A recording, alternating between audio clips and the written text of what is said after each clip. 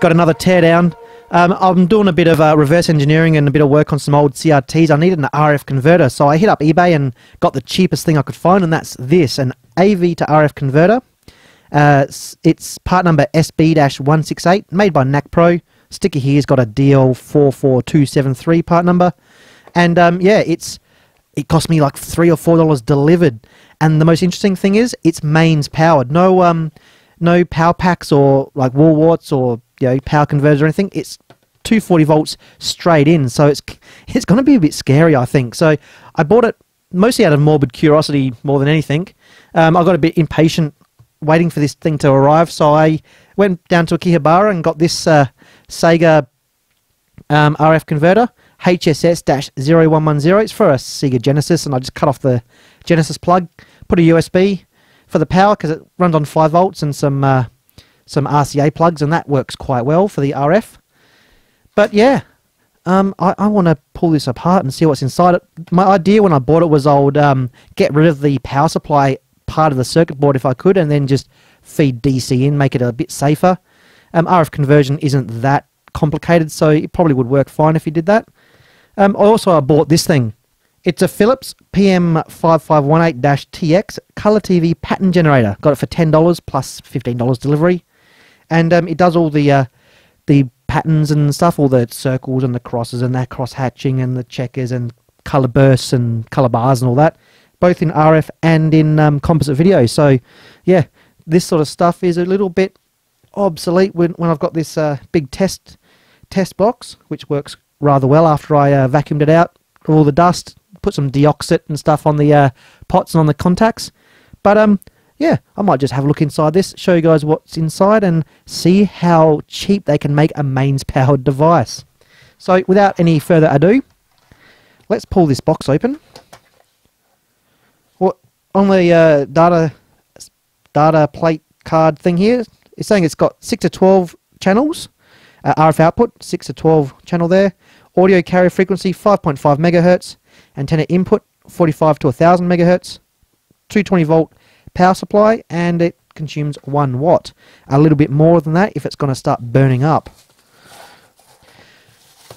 And here it is, the usual cheap-ish looking plastic. They've got a bit of a um, what's that? Like like they sandblasted the mold to give it a bit of a texture, so it doesn't feel too cheap and shiny. But it's uh, it's definitely oh look at that, flexible, and there's not much going on inside. I can see through the vent. The circuit board's only taking up half the space, so it looks like either they've got a um, a standard box they're putting uh, multiple things in, or they've made it big so it just it looks more than what it is. Who knows? Anyway, Phillips head. Alright. There we go. Wow. There is not much in there. What is going on here? Is that like a... That's RF out transformer. So what's the 220 volts doing? There's, there's no real power supply. There's a transistor. Is that a voltage regulator? M5551. V1. Maybe that's a voltage regulator. Oh yeah, the LED there. It's got a LED marked on the circuit board. And it says it's coming around here, shining out the front to tell you it's turned on. There's no power supply there. Well, not really anything of much much happening. Maybe it's a uh, one of those capacitor um, style power supplies. I think uh, Big Clive has gone into one of them. Just explain how they work.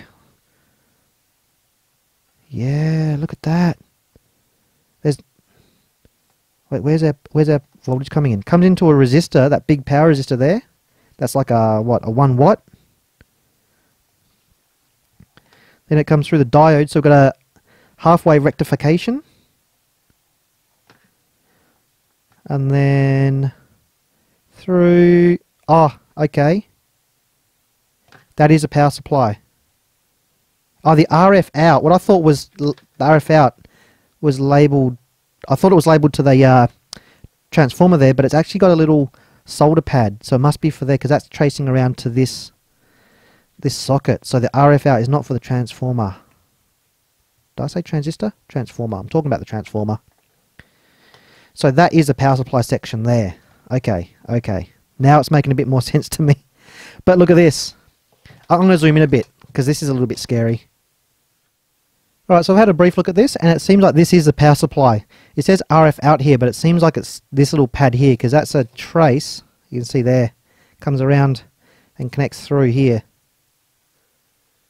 So that wasn't an RF transformer. It's a power supply transformer. It's all switch mode power supply. So that transistor would be a um, a switch mode, a controller of some sort, and uh, that's providing our voltage. But what's interesting is this uh, resistor is uh, that's where the mains comes in, 220 volts, and then it comes through this diode and then the resistor here, and there's a trace underneath here. That's all at mains voltage.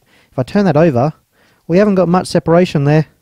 That's probably, oh, a millimeter or so. Let's measure that. What do we got? Yep, one millimeter. We have got one millimeter of creepage distance between the mains voltage and the RF out. So any sort of fault there, you're going to have 220 volts going straight into the RF section of your uh, console or your um, TV or whatever. That's not good. I would like to see a lot more separation. Even, um, you know, dig a line through there. You know, route out that so there's a, a complete gap. I mean, we've got so much space in this uh, in this device.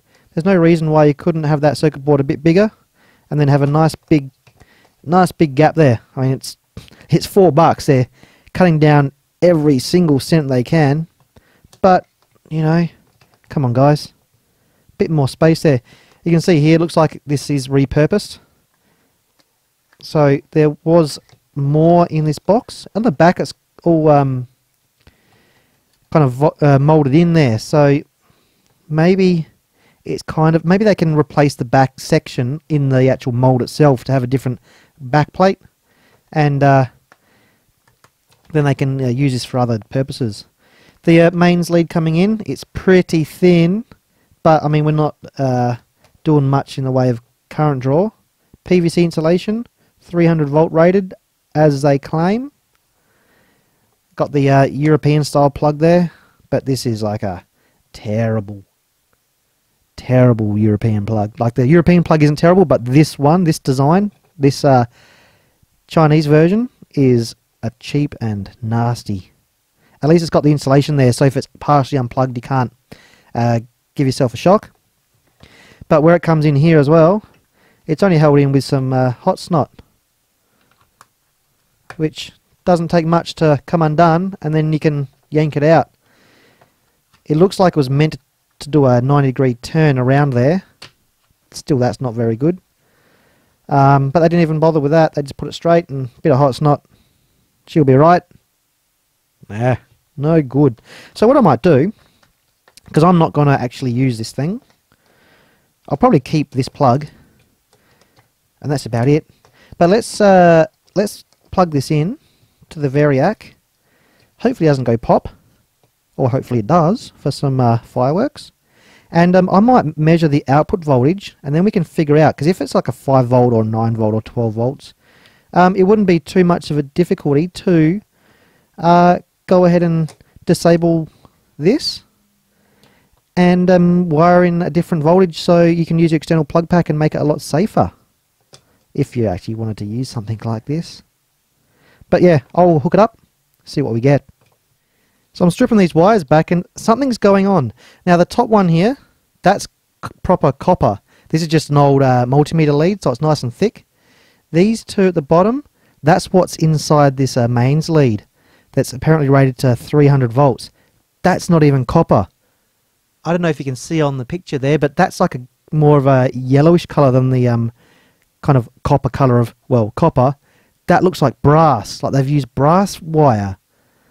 I've I've never come across that before. Maybe it's a thing, and that's also looking like 30 um, AWG, 30 American wire gauge.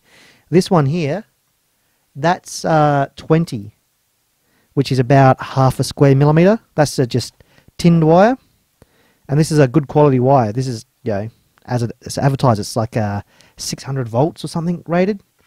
Uh, let's have a look. Yeah, 600 volt rating on the insulation, um, and that's that's good stuff. So is this. This is like look how look how thin that is, and the insulation is real soft too. But brass, I mean, I've heard of cost cutting, but really, anyway, let's get to hooking this thing up and see if it see if it works. All set up now. Got the uh, Variac set to uh, 220 volts, a little bit lower because we're not loading up the transformer, so we're not pulling that voltage down, but that's uh, been measured on the output at 220 volts. We got the uh, wires here connected through to the fluke on the output. We'll cross the output uh, output capacitor. Uh, that's just a filtering cap, so um, if we measure across there, we'll get our output voltage. Uh, time to engage safety sequence and turn this thing on. Alright, 4.5 volts, so that's close enough to 5 volts. It'll probably run on 5 volts, no worries. As I thought, so it looks like if you were to buy one of these, you can inject a 5 volts. I'll probably remove that transformer and uh, inject it across that capacitor and you'll probably be fine. Of course, chop off the mains lead and maybe wire in, uh, instead of the mains lead, put a new wire coming in and uh, solder in there. 5 volts, get an old USB uh, plug like a USB socket that's inline on a cable, and you'll be fine. Alright, well, now that we know we can power from 5 volts, I might do that myself, and uh, we'll just see how well this thing converts to RF. Okay, so we're all set up, ready to look at the scope. We've got our input coming in through here. This is the uh, composite video input. I've just got a like a color bars, so we've got a, um, a nice, easy uh, composite video signal to see and then we've got the output here. Now there's a thing I noticed, this thing actually won't work out of the box because, I'll move this out the way, you can see here, we've got the black and the green. Now the green wire I tested and it comes to the center pin of our um, output connector. The problem is they tied the green to the ground plane and the ground, the, that's the outside of the connector, they've tied that to the signal. They reversed the wires. It, it won't work. So yeah, if you plug this in, it's the wrong polarity. The, the circuit works, but you plug that into your TV, you won't get a signal. It's they, they, they didn't even get the colours right around. Also, another funny thing I uh, noticed, you see here you got the uh, yellow, white, red. That's video, left audio, right audio. On the case, it's marked left, right um, video. Now the case is correct. The colours are not. So they must have got this cheaper. So uh, it's the wrong way around. Um, it was probably designed to have the the audio on the uh, or the, the, sorry, the red on the left and the yellow on the right. But yeah, it's three dollars. What can you expect? We're not going to let the colours match up. So this is actually the video in left audio, right audio. It's if you look at the, the panel here, it's correct, but the colours are not. So, yeah, we're not really uh, too good on the quality control. Anyway, let's uh, have a look at the uh, the scope and see what the um, the results are. Alright, so this is uh, showing the input signal down the bottom. The top, that flat line, that's going to be our RF output once I connect it up. If this is showing a, uh, a very typical color bar signal.